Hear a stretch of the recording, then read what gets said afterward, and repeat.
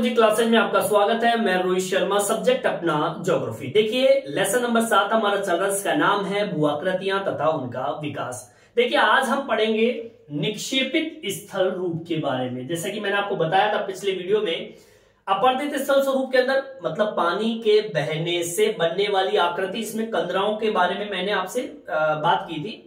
कंदराएँ कैसे बनती है, चूना क्षेत्रों में ही बनती है। ये जो टॉपिक है, ये कंदरा से थोड़ा जुड़ा हुआ है। क्यों जुड़ा हुआ है सुनिए।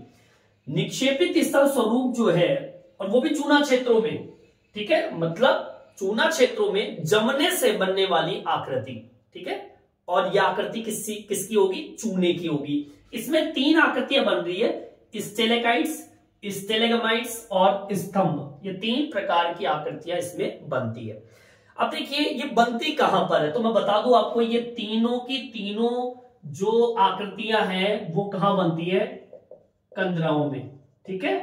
कंदरा वाला एरिया जो भी मैंने पिछले वीडियो में मैंने आपको कंदराओं के बारे में बताया था, एक बार मैं फिर से रिपीट कर देता हूँ। कंदराएँ कहाँ होती है? दोबारा सुन लीजिए। देखिए, ये आपकी परत होती है ना, इसमें मैंने आपको परतें करके बताई थी। ये जो कठोर चट्टाने होती है, कठोर चट्टान, और ये चूना क्षेत्र। और ये फिर कठोर चट्टान। अब होता क्या है? अब ये तीनों आकृति कहाँ बन रही है? इस जगह बन रही है, यहाँ पर। होता क्या है कि आपका जो चूना क्षेत्र है, ये चूना क्षेत्र, ये तो हो जाता है कई बार गायब सा। और यहाँ पे एक रिक्त स्थान सा बन जाता है। ठीक है? रिक्त स्थान बन गया। अब क्या होता है? कई बार चूने की मात्रा कई बार यहाँ पर उपस्थित होती है। इस जगह कंदराओं की छत पे चूना मौजूद होता है।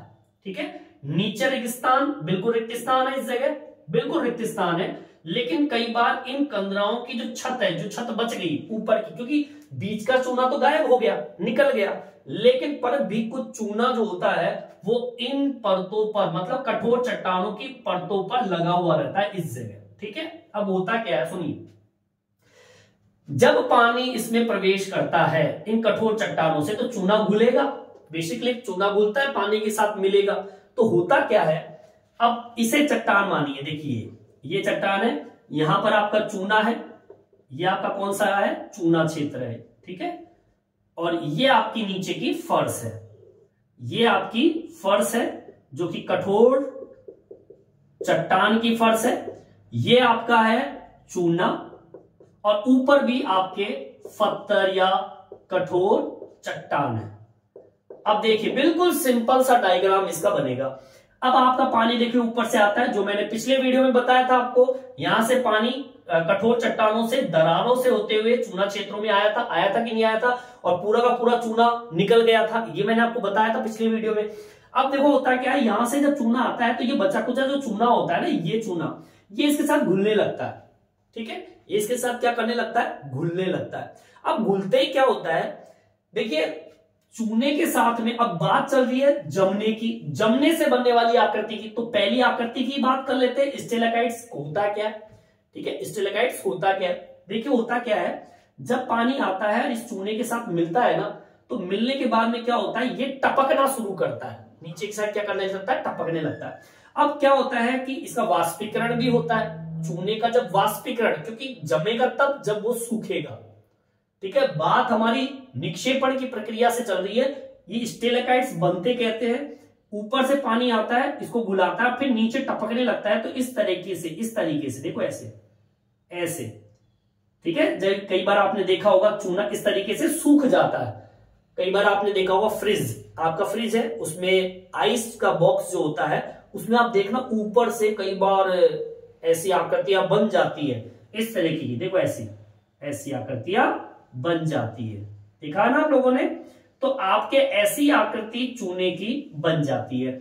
वो बनती है कैसे चूने की? जब चूना पानी में घुलता है और नीचे की ओर जब वो टपकने लगता है तो वो अब इस कंदराओं की छत से इसका जुड़ाव होता है। कंदराओं की छत से लगकर इन तीनों की आकृतियाँ बनती है। इसकी तो बनेगी बनेगी। ठीक है ना? ये कैसे बनेगी मैं बताऊँगा। लेकिन ये जो आकृति बनी है ना, ये वाली, ऊपर से टपकता हुआ और सूख जाए। जैसे कि आइस जो होती है हमारे आइस बॉक्स के अंदर, जब ऊपर से से तिकोने टाइप के लटकते हुए आपको दिखाई देते हैं इस तरीके से आइस बॉक्स की बात कर रहा हूँ मैं ना तो वैसे ही चूना क्षेत्रों के अंदर जो कंदराई की छत होती है कंदरा की छत है। मैंने बताया था आपको ये कंदरा की छत है। यहाँ पर इस तरीके से टपकते हुए लटकते हुए ये चूना सूख जाता है, ठीक है? ऊपर से, ये जो भाग होता है, ये तो होते हैं चौड़े, ठीक है? मोटे होते हैं, लेकिन नीचे आते आते ये क्या हो जाते हैं? थोड़े सकरे हो जाते हैं, ठीक है? नुकीले टाइप के हो जाते हैं। इसको तो हम बोलते हैं क्या? इसको तो हम बोलते हैं स्टेलेकेटाइट मतलब पहला ये। ये जो आकृति है, वो ये है। इस प्रकार की आकृति, ठीक है चूने की। क्लियर समझा गई बात? अब हम बात करते हैं सेकंड नंबर की। स्टेलेगमाइट्स होता क्या है? ये कंदराओं से फर्श पर, नीचे फर्श पर जब टपकन चालू होती है चूने की तो नीचे की फर्श के ऊपर, नीचे से ऊपर की ओर बनती हुई आकृति, नीचे से ऊपर की ओर बनती हुई आकृति। कैसे? जैसे कि मान लीजिए ऊपर से चूना आके गिरा नीचे ऐसे फर्श बन जाती है, ठीक है? ऐसे इस तरीके से। ऐसी फर्श आपकी तैयार हो जाती है। देखो ऐसी। सही में आई बात? ऐसी आकृति बन जाती है। मतलब ये टक्कन चालू होती है और नीचे, पहले नीचे, देखो अब जैसे ये टक्कन चालू हुई और पहले यहाँ पर इकट्ठा हुआ, फिर थोड़ा और इकट्ठा हुआ, फिर और थोड़ा इकट्ठा हुआ, फिर थोड़ा और इकट्ठा हुआ, ऐसी। तो ये चूने के टपकने से, इस लाइन को गौर कीजिए ये कंदराओं से नीचे फर्श पर टपकन, चूने की टपकन से फर्श पर नीचे से ऊपर की ओर बनती हुई जो आकृति होती है, नीचे से ऊपर की ओर बनती हुई जो आकृति आती है इस तरीके से, ऐसे, ठीक है? इनको हम नाम देते हैं क्या? क्या कहते हैं? स्टेलेगमाइट्स। बोले आगे बात समझ में, ठीक है। अब एक बच गया स्तंभ। अब होता क्या है इसके अंदर? कई बार। ऊपर से पानी आता है और चूने को लेके आता है नीचे की साइड, ऐसे। और ऊपर से ही, कई बार इसी आकृति से पानी नीचे की ओर, चूना जो टपकन है वो नीचे से ऐसे चालू हो जाता है। और ऊपर से नीचे आती है, फिर ये नीचे से ऊपर जाती है, फिर और नीचे से ऊपर आती है, फिर ये ये आपस में क्या हो जाती है? मिल जाती है। जैसे दोबारा सुन लीजिए। भाई, आपके ऊपर से चूना घुला पानी के साथ में और टपकन शुरू हो गई। जैसे लटकन शुरू हुई तो ये निक्षेपण से सूखने से बन गए। और इसी में से कुछ चूना एक्स्ट्रा अगर बच गया पानी का तो वो नीचे से टपकन शुरू हो जाती है इस तरीके से। फिर और आ जाता है इस तरीके से। ये भी लटकती हुई नीचे आती रहती है और ये भी। तो ऐसी आकृतियाँ जो ऊपर से और नीचे से जब ये मतलब स्टेलेगमाइट्स और स्टेलेगमाइट्स, ये दोनों जब आपस में मिल जाते हैं देखिए मिल गए ना दोनों, है ना? ये देखिए मिल गए। इसको हम बोलते हैं स्तंभ। सही में आई बात? इसको हम क्या बोलते हैं? स्तंभ। अब ये पूरा स्तंभ बन गया, खड़ा स्तंभ। क्लियर समझ आई बात? स्टेलेगामाइट्स में होता क्या है? जब मोटाई में ऊपर से लटकते हुए स्तंभ आपको दिखाई देंगे, लटकते हुए जो ऊपर से मोटे, नीचे से नुकीले है, उसे तो हम बोलते हैं स्टेले स्टेलेगाइट्स और नीचे से ऊपर की ओर जब चूना बढ़ता है तो उसको बोलते हैं स्टेलेगामाइट्स। और जब ये दोनों आपस में मिल जाए तो इसको क्या कहेंगे? स्तंभ। बिल्कुल सिंपल सा है। समझ में आ गया होगा? ये सारी की सारी चीज़ें होती है सूखने से, जमने से। जब इनका वाष्पीकरण होता है, मैं बताऊँगा आपको कैसे होता है। देखो, मैं बताऊँ आपको। अधिकतर निक्षेपित स्थल रूप जो होते हैं, वो कंदराओं के भीतर बनते हैं, जो मैंने भी बता दिया आपको। कंदराओं की छत से लगकर ही ये बनते हैं सब। नीचे, ऊपर, यहीं पर बनते हैं, ठीक है? क्योंकि यहीं पे चूना होता है और यहीं पर आपके रिक्त स्थान होते हैं तो यहाँ पे आसानी से बन जाते हैं। होता क्या है कि चूना पत्थर जो होता है, उसमें जब जल घुल जाता है, इसमें उपस्थित होता है कार्बन। इस कार्बन के अंदर कार्बन के अंदर पानी शीघ्रता से घुल गया। जब इस जल का वाष्पीकरण होता है तो घुला हुआ जो जल होता है, उसमें कैल्शियम कार्बोनेट का निक्षेपण शुरू हो जाता है। धीरे धीरे सूखना शुरू हो जाता है। या फिर हम कहें कि ये चट्टाने छत से जल का वाष्पीकरण जैसे जैसे होने लगता है तो इससे अंदर उपस्थित जो कार्बन डाइऑक्साइड होती है, वो गैस मुक्त हो जाती है। तो कैल्शियम और कार्बोनेट की चट्टाने धरातल पर टपकन से और क्षतिज अवस्था सॉरी निक्षेपण से ऐसी आकृतियों का निर्माण हो जाता। है कुल मिला के बात ये हो गई कि इन चूना क्षेत्रों का जब वाष्पीकरण होता है, इतनी रामायण पे मत जाइए, इतनी सी बात समझा रहा हूँ मैं आपको, चूने का जब वाष्पीकरण होता है, तब इसका जमाव शुरू हो जाता है। जमाव शुरू होता है तो ऐसी आकृतियों का निर्माण प्रारंभ हो जाता है। ठीक है, यहाँ तक समझ आ गया होगा। अब मैं इस डायग्राम को एक्सप्लेन करता हूँ, कैसे लिखना है वो हम देखेंगे इस डायग्राम का आप उतार लीजिए, क्योंकि ये डायग्राम भी आपको आपकी बुक में नहीं मिलेगा, ठीक है? ये बिल्कुल परफेक्ट डायग्राम मैंने आपके सामने समझाया ये तो आपकी स्तंभ हो गया, ये आपकी स्टेलागाइट्स हो गई, और ये ऊपर से लटकता हुआ जो है, वो स्टेलाकाइट्स हो गया, ठीक है? चलिए इस डायग्राम को आप उतार लीजिए। अब मैं इसको एक्सप्लेन कैसे करता हूँ, वो देखते हैं, ठीक है? उतार लीजिए। देखिए, आगे की ओर बढ़ते हैं। सबसे पहली लाइन आपको क्या लिखनी है? देखिए अधिकतर चूने का निक्षेपण कंदराओं के भीतर होता है। ठीक है? अंदर होता है, सुरंग के अंदर। ठीक है ना? निक्षेपण वहीं पर होता है, स्थल रूप होगा। यहाँ स्थल रूप लिख सकते हो आप। निक्षेपण, या कहें, अधिकतर चूने के निक्षेपण स्थल स्वरूप, ऐसे लिखो। ठीक है? चूने के निक्षेपण स्थल स्वरूप कंदराओं के भीतर होता है। ठीक है? ये आपका स्थान भी हो गया। आपको ये भी पता चल गया कि निक्षेपण स्थल स्वरूप जो है, जो स्टेलेगामाइट्स, स्टेलेगाइट्स या स्तंभ कहाँ बनते हैं? या फिर चूने के जमने से जो आकृतियाँ बनती है, वो कहाँ बनती है? कहाँ बनती है? कंदराओं के भीतर। ठीक है? जो जगह स्थान खाली हो जाती है वहाँ पर, ठीक है? अब आगे सुनिए दूसरी लाइन क्या लिखेंगे? कि चूना पत्थर चट्टानों में मुख्यतः क्या उपस्थित होता है? रसायन, कैल्शियम, कार्बोनेट मौजूद होता है, ठीक है? लिख दीजिए। चूना पत्थर चट्टानों में क्या उपस्थित होता है? मुख्यतः रसायन, कैल्शियम कार्बोनेट उपस्थित होता है। हो गया? कैल्शियम कार्बोनेट यहाँ पर उपस्थित होता है। अब होता क्या है? ये पानी के साथ क्या करता है? शीघ्रता से घुल जाता है। यह जल के साथ शीघ्रता से घुल जाता है। अब चूने पानी के साथ घुल गया। अब होगा क्या? अब इसका वाष्पीकरण होता है। चूना जमने लगता है। अब जब वाष्पीकरण होगा, जब तो जमेगा तो वाष्पीकरण होगा तो चूना जमने लगेगा तो क्या होगा? यहाँ पर निक्षेपण प्रारंभ हो जाता है। जमने का मतलब क्या होता है? निक्षेपण प्रारंभ हो जाता है। यहाँ पर ऐसे भी लिख सकते हो, या। इस लाइन को आप ऐसे भी लिख सकते हो, इस लाइन को कैसे लिखोगे? जब चट्टानों की छत से जल का वाष्पीकरण होता है तो साथ में कार्बन डाइऑक्साइड भी क्या हो जाती है? मुक्त हो जाती है। गैस आउट बाहर सूखना चालू, ठीक है? जब चट्टानों का क्या सॉरी चट्टानों की छत से जल का वाष्पीकरण, जब चट्टानों की छत से जल का वाष्पीकरण होता है तो कार्बन डाई ऑक्साइड मुक्त हो जाती है। ठीक है?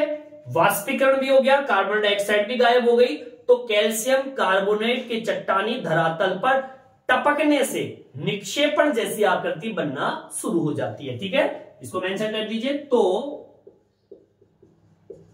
कैल्शियम। बताया था ना आपको मैंने? ये रहा। ठीक है?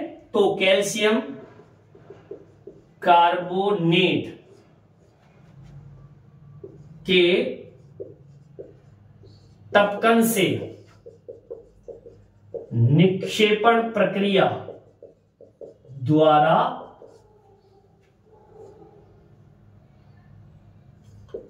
स्थल आकृतियाँ बनना शुरू हो जाती है। और वो आकृतियाँ कितनी है देखिए, यहाँ पे लिख देता हूँ। निक्षेपण कहाँ पर चूना क्षेत्रों में।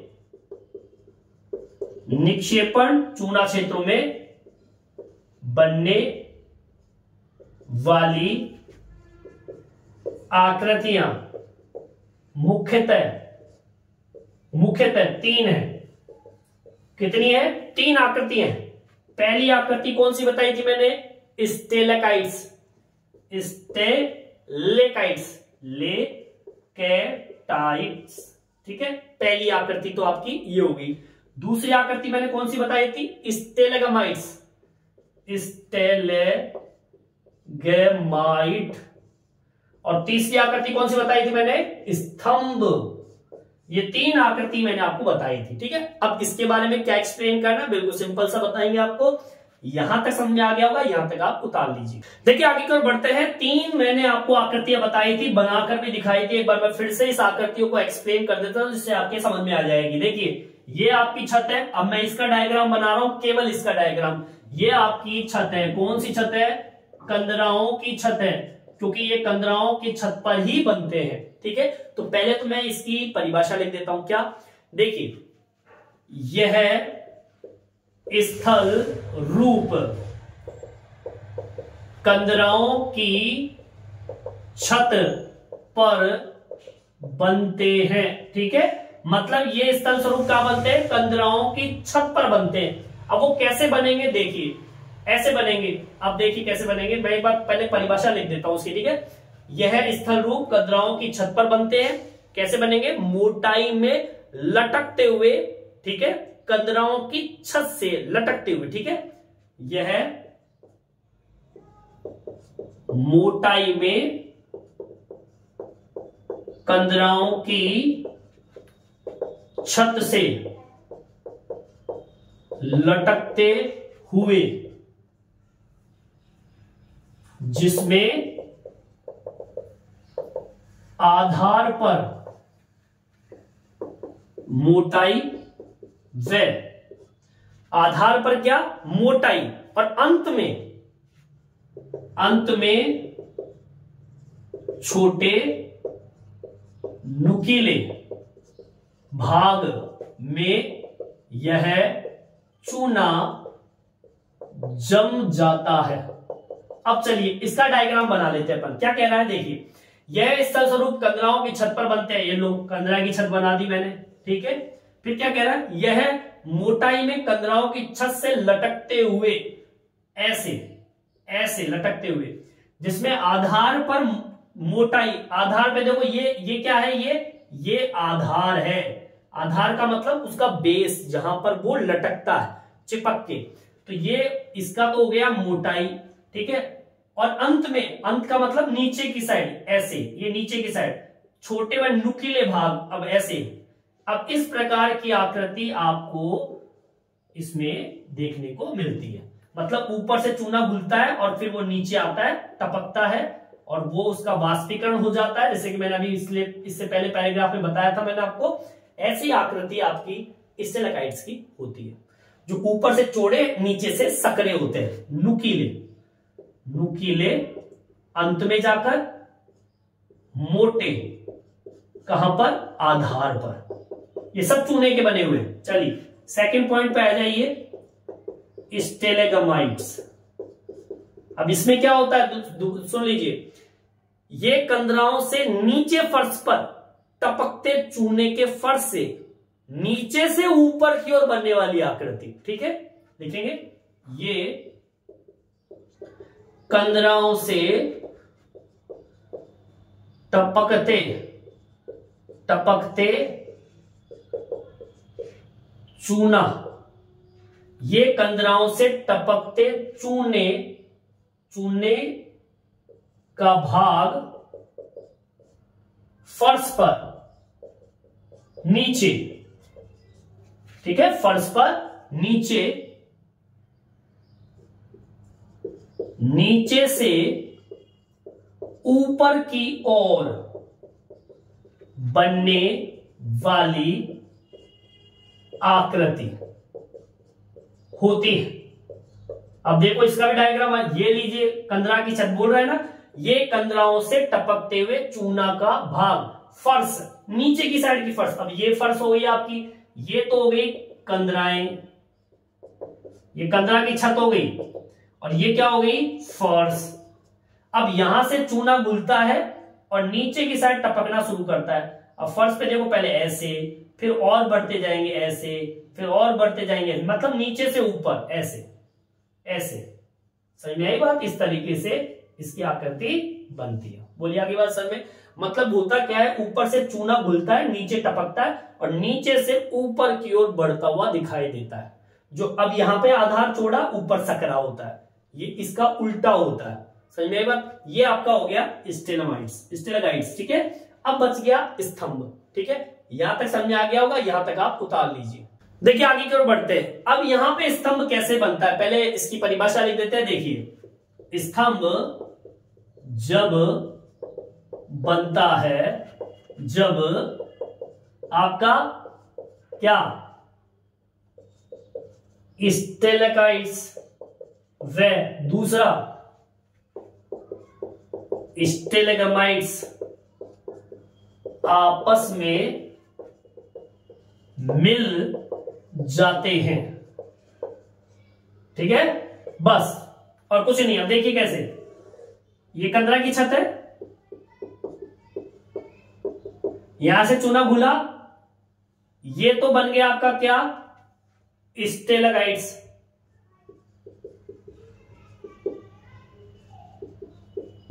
और इसी में से चूना निकला और टपकना शुरू कर दिया इस तरीके से।